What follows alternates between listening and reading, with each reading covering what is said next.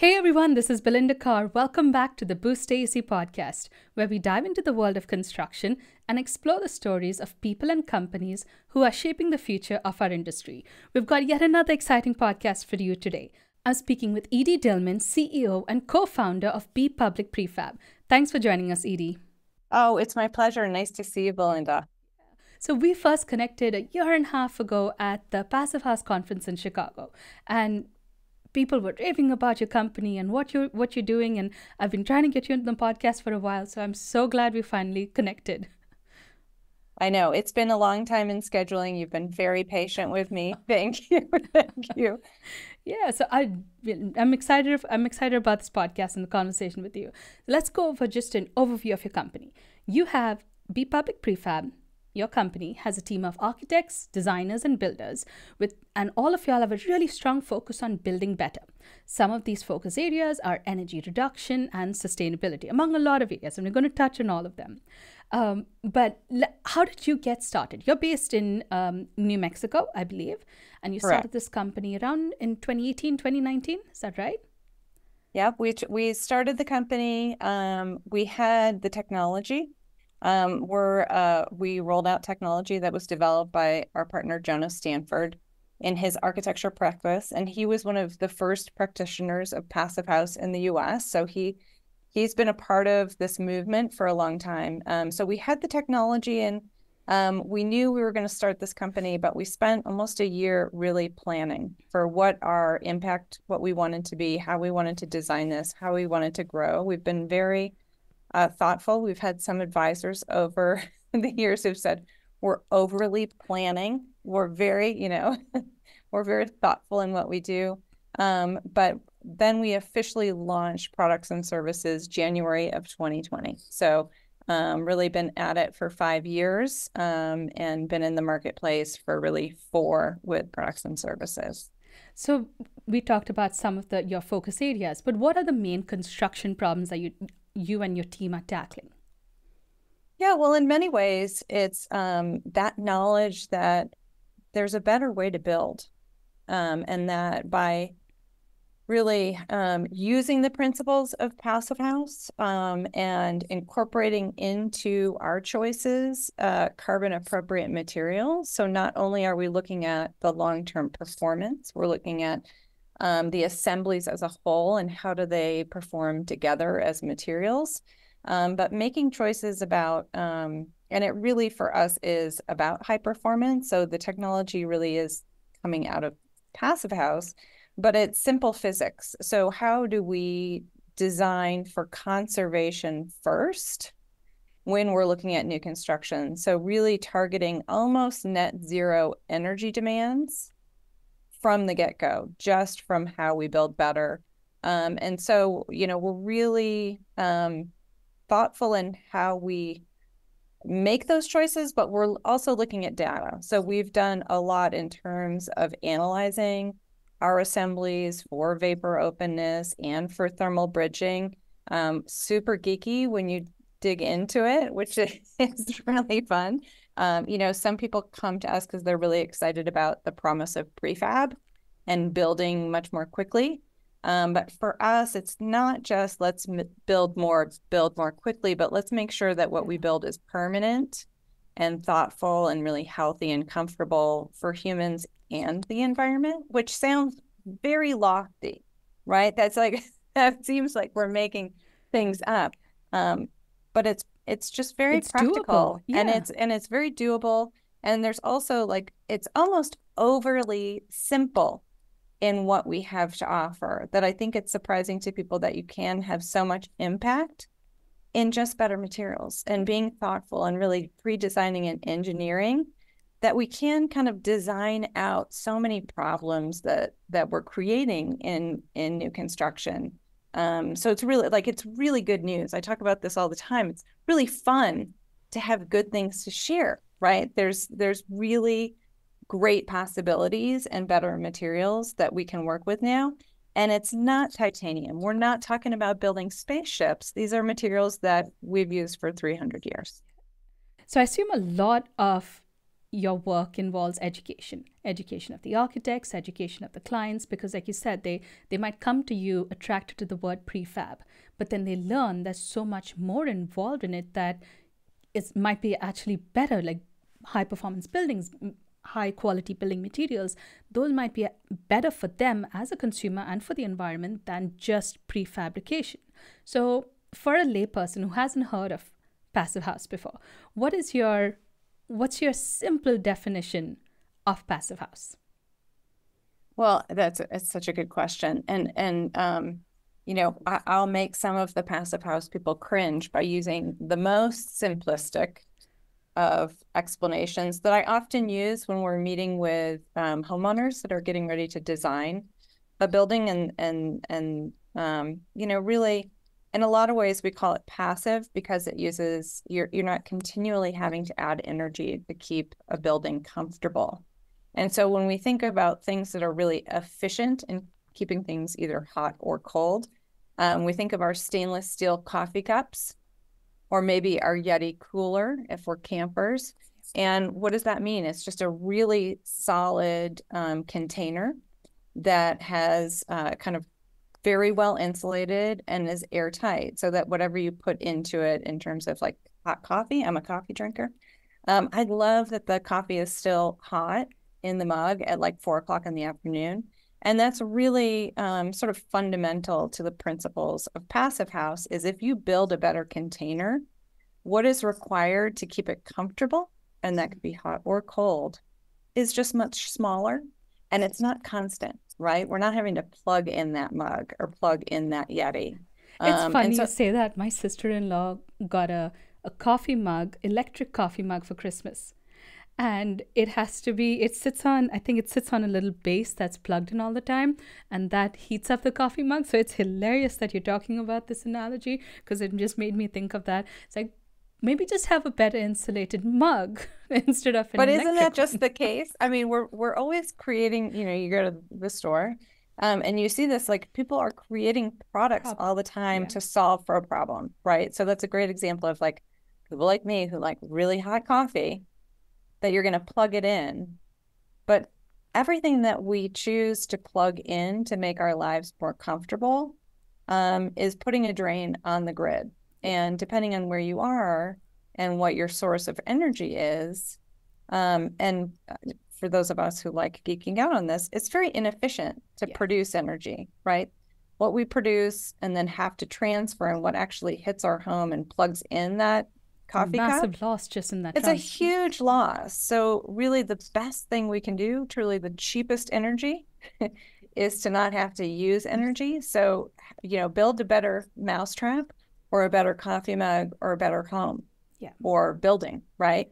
Um, and that really is just choice of materials. And some people get really uncomfortable when I talk about you don't want to live inside a Yeti cooler or a stainless steel coffee cup. But this idea of what is airtight, and that sounds uncomfortable to people, right? It's like, I don't want to live inside a balloon. Um, but what's really brilliant about that is if you are able to control sort of the the container of a home or the envelope of a home and it is airtight. What happens a you're not just losing energy out the cracks um, but you're able to control the air. So all of the the buildings that we're working on have ventilation strategies and and most of them are very high efficient um, fresh air intake systems ervs or hrvs and in that you're controlling but you're also filtering the air and so, um, you know, we've gone through a lot. We started this company before COVID hit, and then COVID came up, and everyone in their homes and apartments and offices became very aware of air quality. Where is this quality. air coming from? Where's that vent that's sharing that wall coming from? And so, when we think about being able to control our environment and use less energy to be comfortable, we're also cre- creating these environments where we have filters on the air coming in. So, we're working with people who um, you know, are living in areas where we will always have wildfires, right? And that there are always these moments in seasons where it's great to filter out the pollen. It's great to be able to control any kind of pollutants that are in the air. Um, and so there, this idea of like, let's not talk about being inside a plastic bag and not being able to breathe. Um, it really is about being able to control and maintain a healthy indoor. That's an excellent, excellent description. Thank you for that. Um, See, you asked about education, and I just started going into yeah. like, how do we talk about each of these things, all the benefits? Yeah, and that's such a great way to explain it because it's it's a, it can be an intimidating, not intimidating concept. So breaking it down into simplistic terms and make creating analogies to everyday life is a way for people to wrap their head around passive house construction, high performance building, and it's it's it's not intimidating. It's completely doable as long as you understand the basics of it. So you explained those really well. Well, and I think what's one of the things that I think is a little bit tricky in in talking to not just homeowners or building owners, um, but I think architects and designers and, and builders as well we all experience building failures. Like we've all lived in places or offices where you've got that cold window that you like you pull furniture away from in winter, right? Like there's that room that you're like, no, it always has that musty smell. Like we're just and and this is human that we sort of adapt. We put on a sweater, we move the furniture away, or maybe um, this is my least favorite.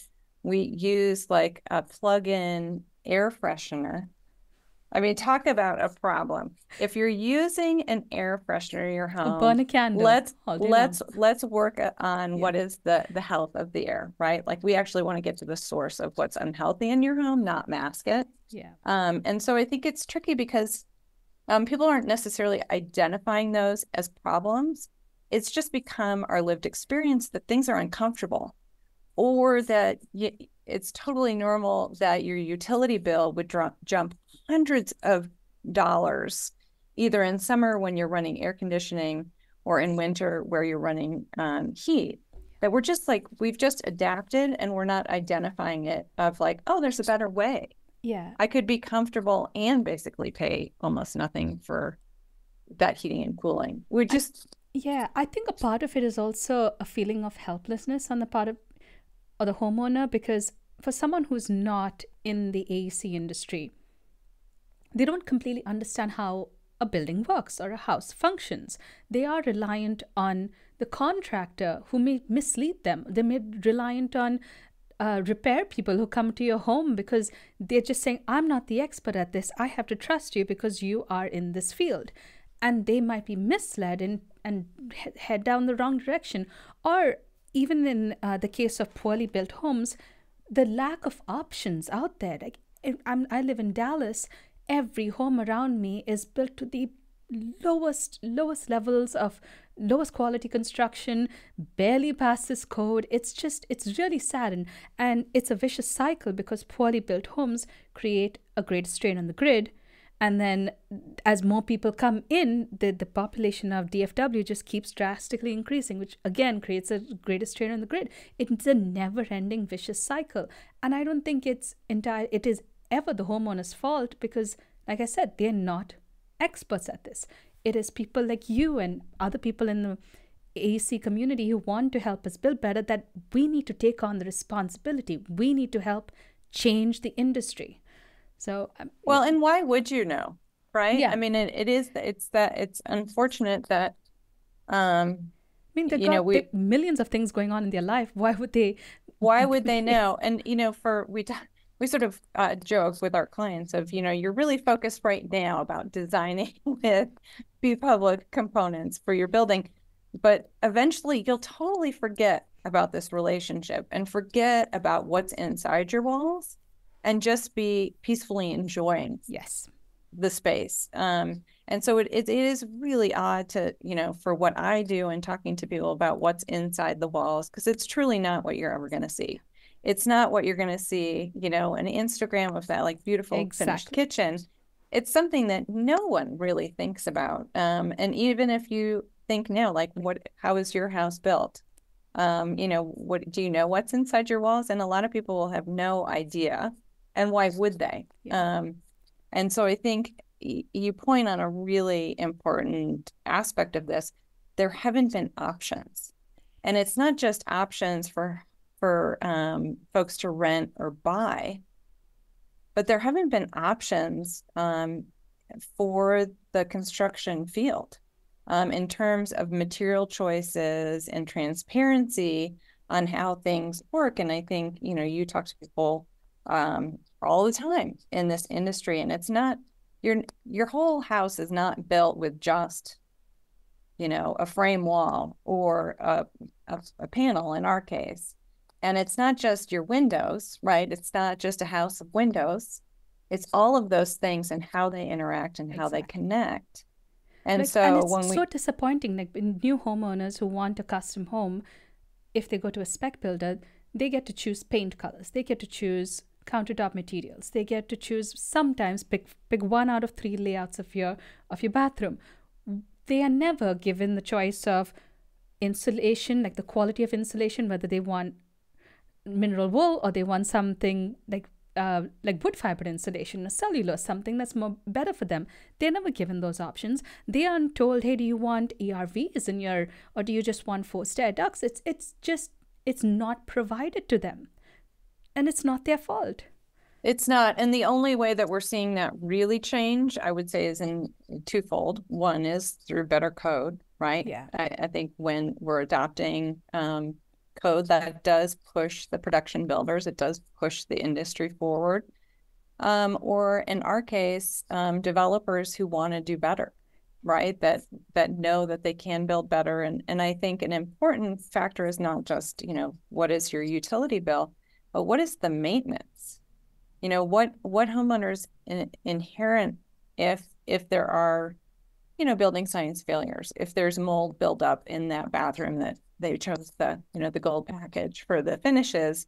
But if there's something unhealthy about it or if those windows are going to fail in five years that is sort of a domino effect of instability in the housing market. Um, and so thinking about how these materials are chosen together how they work well together and what what really does match well um, and that goes all the way out to those um, finishes um, and how things really perform. Um, and and i'm thinking about you know, our walls are vapor open so that if there's moisture, which is natural, if it can dry out naturally, we want it to be able to dry all the way out. So not to put a, a balloon on the outside, right? We want materials that allow that to breathe all the way out into the environment. And I think, um, you know, there are people who are really excited to build better. Um, I think um, there's some interesting things happening in terms of transparency so that I, you know, I watch Zillow, you probably watch Zillow, but now being able to see sort of the ratings on solar. Is this property, you know, a good opportunity to add solar?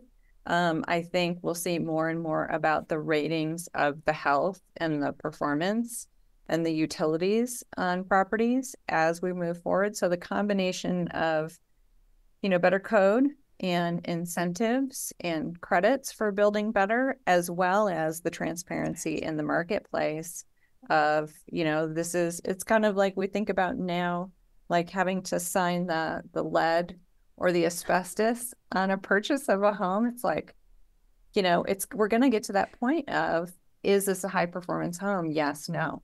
Yeah. Right. Oh, this was such a good introduction. I mean, we haven't even dived into your company itself, but this was such a great discussion. I have to ask you, what is what is the B in B Public Prefab? Oh, it's um it's very specific. It is we're a public benefit corporation. So when people when you see B Corp B on things, yeah, yeah, like Mat- Patagonia or Ben and Jerry's. I just saw a new one that was uh, great. Um, but public benefit corps are kind of a combination of a nonprofit, so having a mission and having a vision for the organization, um, married with a for-profit company. So a public benefit corp, um, and the way we're a public benefit corp is we are incorporated in that way. So in our bylaws is the priorities of sustainability and housing creation and job creation, as well as um, being profitable. Um, so those are our guiding principles. And we chose to do that because it was three um, co-founders um, that brought the company together. And we know that this company has huge potential to grow, but we wanted to make sure that that growth is organic and it is aligned to those values that we started the company. And it's not just that we want to be the next Google Google House or something like that. We want to grow it for the right reasons. And so being able to track data on um, our impacts yeah. um, along sustainability and materials and um, you know create creation of housing in particular, but many more buildings um, to this level of performance is baked in. So that's where the B comes from. We also play with it. You know, it's just it's better. It's better. It's building. You can put a lot of B's there. Yeah. I every time I talk to you, like the first time I I said I came across uh, I came across your company at um, the Passive House conference, and people were raving about it, and they're like they're doing something different. They're doing something really great. It's this small-ish company in New Mexico that is really going to change the way things are done. And every time I talk to you, that I'm just I just remember that saying they're doing something really great, and um, and you're inspiring. You're very inspiring, Edie. Um, oh, thank you, Belinda. well, and I feel like um, you know, we're trying really to um,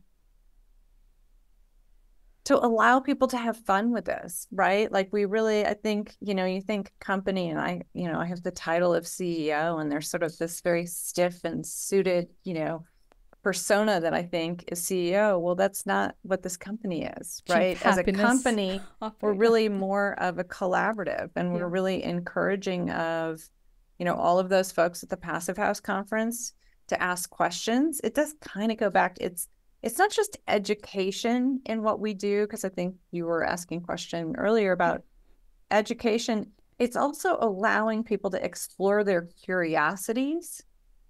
Okay. Um, like maybe they'll see a post or a story about B Public and they'll have a question, you know, like truly like, really, you're you're building with mostly recycled newspapers?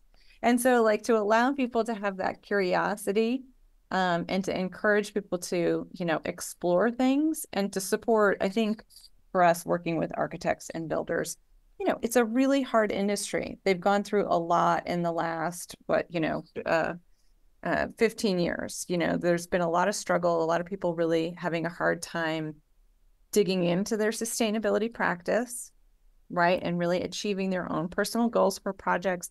People are having a hard time getting things built. Um, they're they're struggling with budgets, and you know we come at it with you know transparency and joy and excitement of great. Let's take your designs, let us interpret it into sort of our Lego like system, and then go play with it. It's not let's let's like you know let's make it more difficult. Let's make it super techy. But let, everything you make... did is wrong. We need to redesign everything you've done.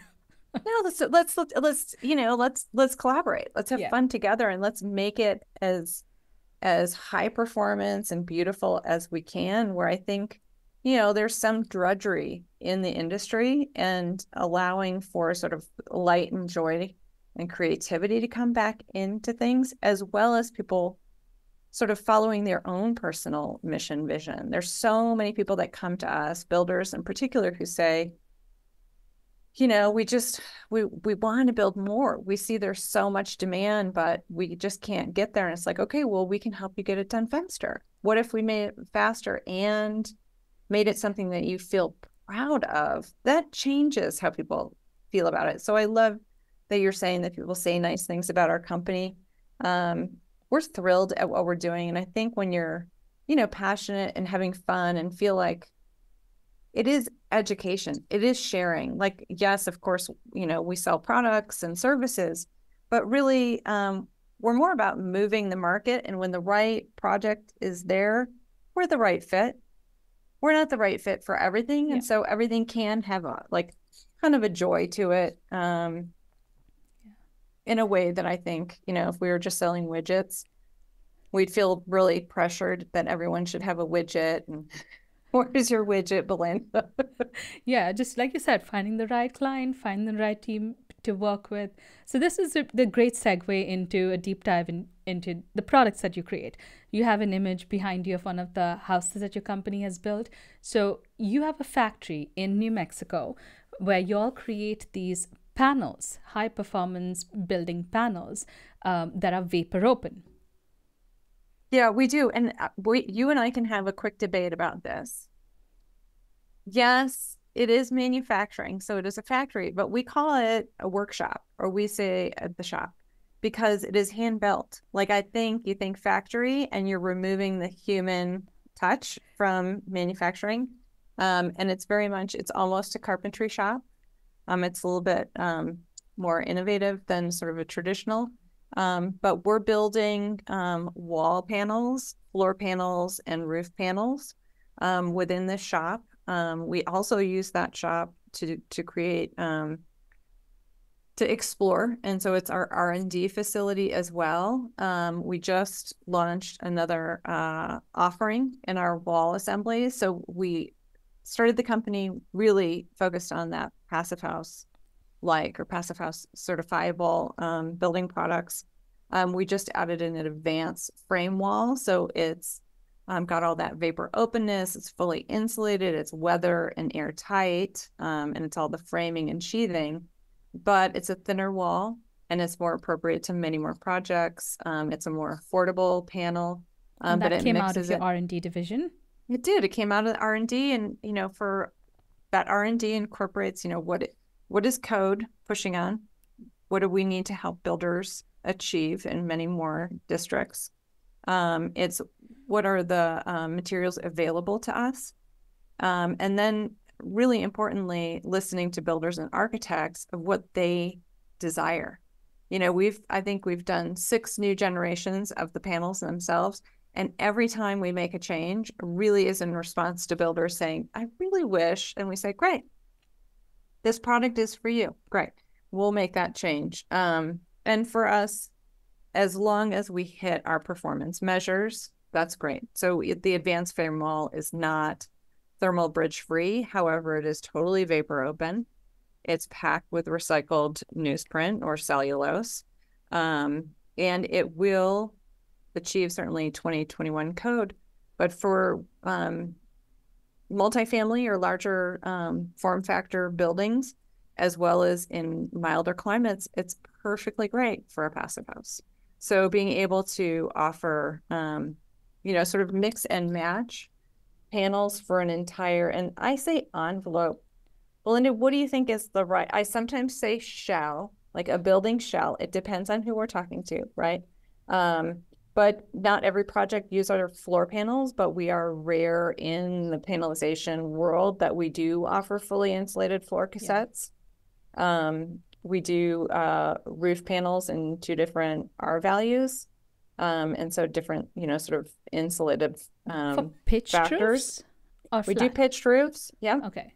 Um, and we do have sort of a standard kit of parts, um, components, um, but a lot of what we're doing is custom. That's what's kind of amazing is this the computer assisted design, right? Like everything we have in this beautiful BIM now, um, and the technology on our computers, um, we can design any, you know, and I want to say square corners. We like square corners in general. We're not doing rounded. So when I say custom panels, they're not round. Um, but we can create um, designs for anything in the computer, and then it's hand built in our shop. And so that combination of um, accuracy and, and controls from the computer, and then accuracies and the quality um, assurance that we have in the shop. I almost said factory again um, is pretty astounding. And so pairing those two things for flexibility of anything from like a, a casita, I'm in New Mexico, so I can say casita, or you know a guest house, to um, you know townhomes, three story, larger multifamily. It's the same thing in the way that we're a building material, like a two by four, right? It's what can you do with a piece of wood? Um, that's pretty close to what we're doing um, just doing it with a lot of insulation, some best in class materials. Yeah, and that that really stood out the the first time we spoke. Your focus on humans, it. It, obviously that is one of your biggest passions and your company's biggest passions too. It's not about automation to you. It's about creating high performance buildings while still valuing the human aspect of construction. And you told me that your approach to building B Public Prefab was starting off with the low cap factory, a low cap, not factory, sorry, you can say factory. um, okay, a low cap factory and invest in trades and invest in humans. That was your approach, not. And, and there's nothing wrong with the other approach of the other companies that I've spoken to that go down the path of robotics or creating these uh, lines where everything's done by machine with minimal human in- intervention. That's just a different approach. Um, but your approach really focuses on humans and you want your the, the people working in your factory to not have to travel more than i believe you said 45 minutes to an hour or something from where they live to where they work. Yeah absolutely. And i think um, you know you you have um, interviewed a lot of really amazing companies that have a different approach to manufacturing than we do. And i and i just want to say really clearly the need is so great, we need all of it. Exactly. Like we yeah. really need all of the innovation that's out there. Our approach and our philosophy, and this does go back to that we're a public benefit corporation, is um, we have such a shortage in the trades. We really have a deficit, and that deficit um, is only going to get worse. And so, how do we ensure that there is um, future tradespeople in every community and so we really feel like one is creating pathways into the trades where it is um, open and you can see a pathway. Um, certainly, walking through the front door of our shop and walking into the office and being able to look through the glass wall and see all of the different stations and understand that everything is, you know, at ergonomic height and, you know, adjustable to any size person um, to be working in the shop, and then it doesn't require a truck.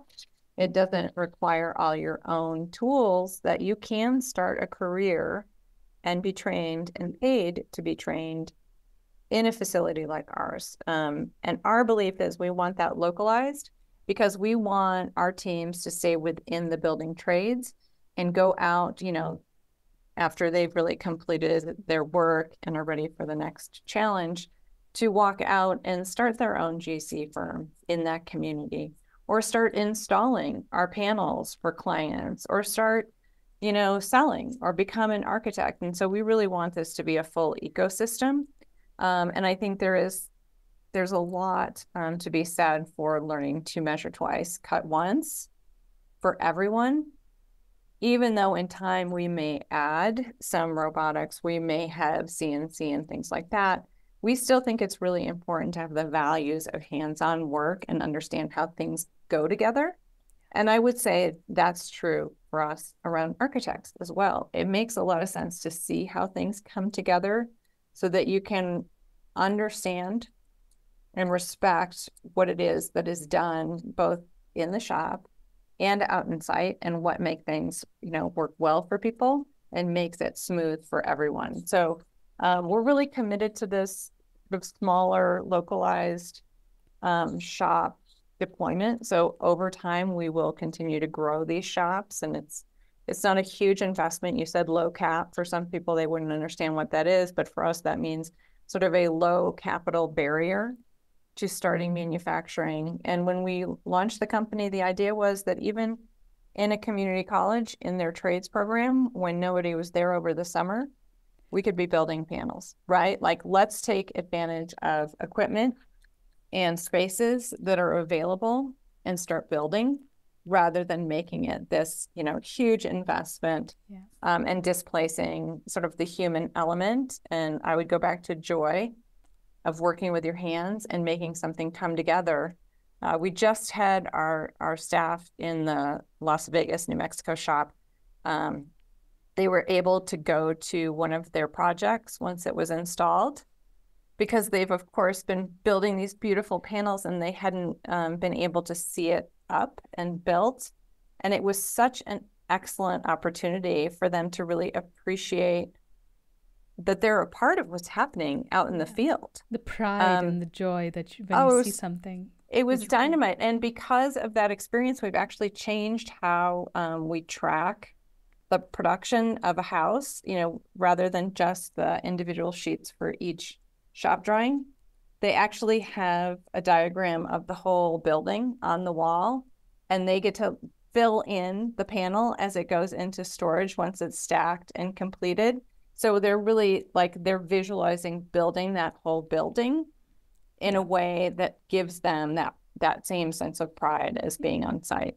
As opposed to just, okay, I'm screwing this one or just checking it off the list. They're visualizing the whole building that yeah. they're they're producing. that's a good approach. Again, that goes back to continuous feedback and, and collecting data. How can I make this line in this? That's really cool. Um, is there? Um, you just mentioned a project that your company built in Vegas or um, New Mexico. Was there a memorable project that your company worked on in the last four years or so that really stood out to you? Either changed the path of your business or changed the way you thought B Public Prefab needed to grow? Um, yeah, I, I have to say each project is so, you know, meaningful and, and close to close to us. Um, we've been really um, honored to help um, many homeless build back after wildfires. And I think that was a very surprising turn of events. Um, you know, one, the devastation of the fire events that, that we're having, both in California and in Colorado, and now in New Mexico. Um, and so, you know, we did a lot of planning around the communities we could serve with this system and with our design services. Um, and it has been a, a surprise that it has been so useful to homeowners who were building back. And I would say they have a different sort of ecological view than everyone else when you've lost a home. You think differently about the performance or your investment or even the materials. Um, and so that has been, um, for a mission driven company, um, very meaningful for our team to be able to help people get back home and to build sort of a better future coming out of that devastation. So that has been a wonderful surprise. Um, and I feel very honored to work with those communities. Talk about resiliency. Yeah. Mm-hmm. I mean, really. To not just um, give up and say, okay, I'm going to live in a different No, place. the human spirit yeah. and how those communities um, support each other is really um, I just feel again really honored that we were included um, to be able to help folks. Um, and right now, it's exciting because we're definitely turning a corner this year, 2024. Um, there's been a big shift. Um, there are many more multifamily projects coming through estimating and moving towards production. Um, and so we will always have a mix of things designed by us, designed by other architects, smaller projects, and then larger projects. But right this second, um, we're in production for a lecture hall.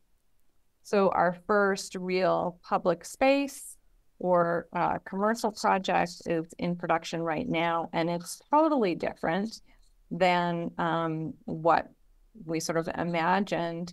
But that's the beauty of producing um, an assembly for architects it can is, be used for so many purposes. Is what they do with it. What of course, we love it, yeah. designing with it, but it's just a blast to see what others do with the technology that we've developed. So this is really fun, and this is actually it's in New Mexico, um, and so that will be installed um, probably late summer, early fall, and will be dynamite to share with people. Um, I'm it's a really fun one. To sing that, yeah, yeah, yeah.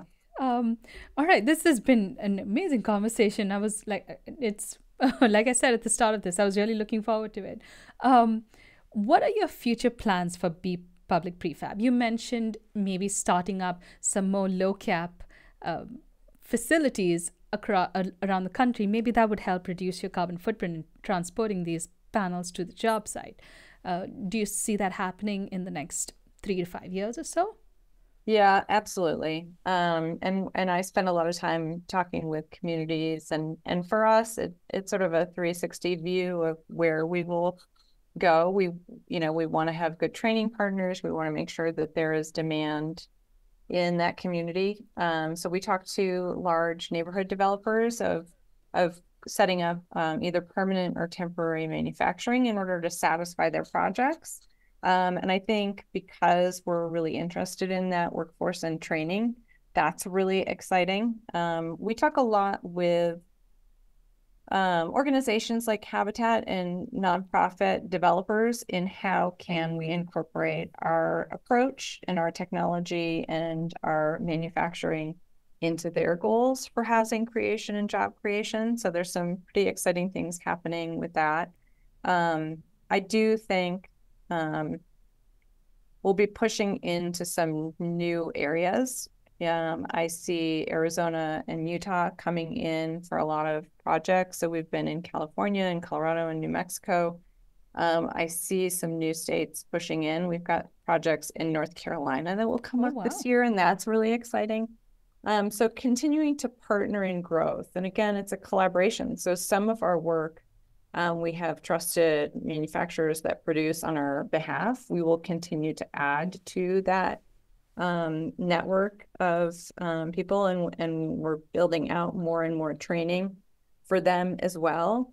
Um, we didn't really talk about it, but we developed this training program for builders to learn how to install panels safely, oh, okay. and so we'll continue to do that. And we've been asked to travel that, um, which is funny to imagine us, you know, crossing the country with panels because we do in we do training with a crane and let people put together a building. So, you know, we like logistics. So that Is it would like be a mock-up that you show them how it's installed and then you just take it apart and then move those it's it's a full size mock-up that we okay. we do so we do a two-day training where we're going through building science and and a lot of the material science and talking about how does prefab change schedules and estimating and um, it's a pretty wow. um, yeah, well-rounded two-day program and then we actually fly panels with crane um, and so that will likely um, go on the road a little bit in the next couple of years. Um, we've and been would asked. that be like a brand agnostic kind of training? It's it's just uh, even if they decide not to use B Public Prefabs panels, if they decide to use someone else's panels, they still have the knowledge of how it comes it, together. Yeah, uh, yeah, it is. I mean, there's there's um, some very specific things about our engineering and our connection points but this was something when we were launching the company and talking to the industry, talking to people that, you know, some would say are, are, are competition, I would say are collaborators in the industry of change. Um, and everyone identifies this as an issue, is that we may have the workshops and the factories and great products, and we definitely have the need for new construction out in the field but the folks who are really the set and stitch crews and are ready to perform that work are far and few between. And I would say um, many more in the commercial side. Like we've been building hotels and restaurants and things in sort of modulars for a time now, and and those larger commercial um, contractors have experience. But when we talk about smaller and mid-size uh, developers and uh, GCs in residential, they don't. And so we had we talked to you know um, other folks in panelization and offsite, and they all said, "Yeah, it's really hard. You can't. Who, who's going to install them?" And we had that problem, and we said, "Okay, well, we're just going to start this program, and it will be of great advantage to other folks in the industry." And for us, they're all over the country. So we've trained people in, you know, Vermont and Maine and Tennessee and California and Texas and Arizona. Wow. So we have these, you know, dispersed groups who are trained, and most of them are um, teams that come. So we'll like a framer, a framing team would come because they know that this is the future and they kind of want to add it to their toolkit. Um, others are GCs who want to be able to uh, self-perform the, the whole project rather than hire a sub to do that work. So um, I'm sorry, I just took us off on a tangent, but it no, is, no, it's is really something that's growing and it's a part of the larger movement. It certainly serves our projects, yeah. but it serves the industry in that promise of getting it up and built. It doesn't make sense if you order panelization and it's on site and and, and no one knows, knows how, how, to put, it, it together. together. That's yeah. not a, that's not pro- progress. Yeah, and um, so I talked about that. It's funny. Had a conversation about this just yesterday. We have a prefabrication team that I work with, and then we have a GC team out on the job site, and there's a big gap on when stuff gets passed over to the GC team because they don't know how to install it and then they, the prefabrication team thinks that they have to be hands off as soon as we get the project and that that gap right there is what you're talking about. The the knowledge that the the assembly gc team needs is lacking right now. And we're trying to figure out how do we fill it? Are we the ones that's that that educate them? Uh, do we need to bring someone external to educate them on how we install these prefabricated components? And what you're doing is it's i'm so glad we went down this tangent because it is an extremely valuable part of it like what's you can't just develop these panels in silo because if it's installed incorrectly what's the point of it all yeah and i think you know for us in particular and i think there are a lot of great companies who are panelizing um, we're not displacing the GC on site. Yeah. Right. We're only taking a small portion of the build and speeding it up. It's what we find to be the critical portion of the build for performance. Exactly. And obviously that, for structure. And a lot of like, people think that it's not prefabrication versus GC. It's not. It's not a no. competition. It's not. It, there's no point in butting heads in this. We're trying to help each other get better. So that, and that's what your team's trying what, to do and what that linkage is and i think to be fair i think it's really important um, that we that we represent this training it's the same skills used slightly differently so why we can do it in two days is because we're using materials that are known that are basically off the shelf it's how you address them how how you order them on site how do you sequence that changes so for us, you really would want windows and doors on site on day eight rather than on the fourth or fifth month. That's a big shift. Yeah. But it's still the same materials. It's still the same, you know, basic install. So how we how we reorient and sort of skill up people and I think importantly to be safe. I think there's a lot that we can cowboy out in the field and and that's not what we want to do. We want to make sure that people are safe, um, are protected, that materials, uh, you know, there's the re- reduction in in risk. Um, so the training's important. Um, and we've talked to lots of people about partnering with it. It should be a stackable credential. It should be coming out of a university. This should be a part of the trades program, um, and likely will be. Um, we're in talks with uh, a couple of local organizations um, um, community colleges to add this to well, maybe great. their sustainability or the construction management programs that this would be something that would be additive and gives them sort of that step up yes. into careers. That's awesome, Edie. This has been an excellent conversation. I have one last question for you, and I try to ask all my interviewees this. What advice, I mean, this whole this whole podcast has been a ton of great, really great advice. But what advice would you have for a young professional coming into the AEC industry who's really interested in high performance building? Would you talk, would you want to emphasize the the hands-on aspect of it? We talked about that during the podcast. What about the the well-rounded knowledge, like having the, the tech side of it, the material side? Um, th- I mean, there's so much that you you that's important but to a young professional what's one of the what's one advice that you would give them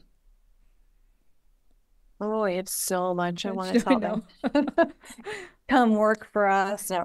I think um i think one is to be truly curi- curious um, and then to be ambitious. Um, we've we've had a lot of um, young very talented um, designers, architects uh, tell us that it's disconcerting to come out of school to really want to have impact in your work, to want to have some real influence around sustainability, um, and them feeling um, voiceless or without power to really do things. And and I I want to encourage people that there is so much power in the industry to do better and that you know if you're in a place where people are not valuing that curiosity get up or supporting yep. education like if they're not sending you to the passive house conference or encouraging you and paying you to do workshops online or to continue studying um, that it's not the right fit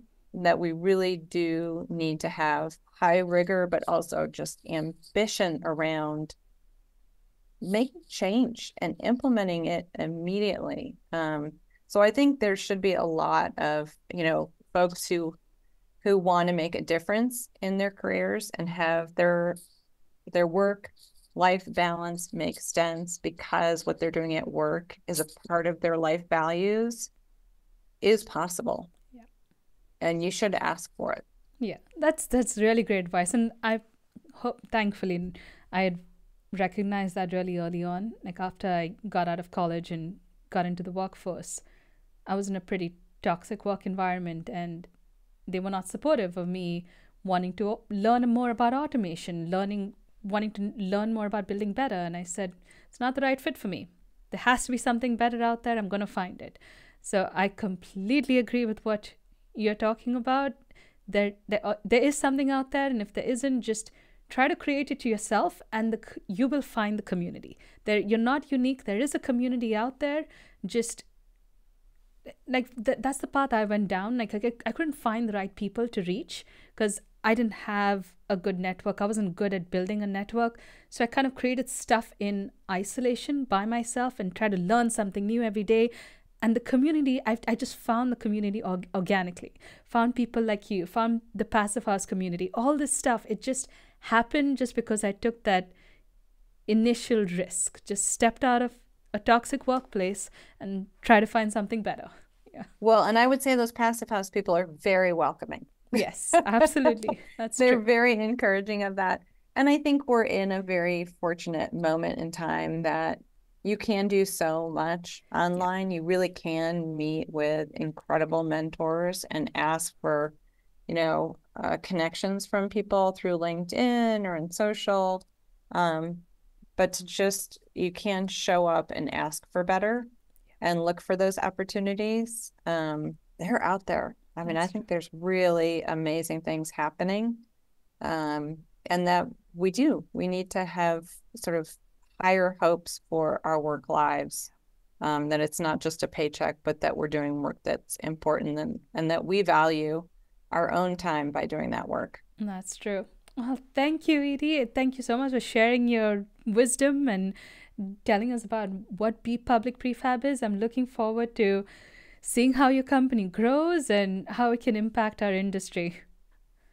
Thank you so much for having me, Belinda. Thank you. All right. Need to have you back on the podcast again soon. Okay. All right. It's a deal.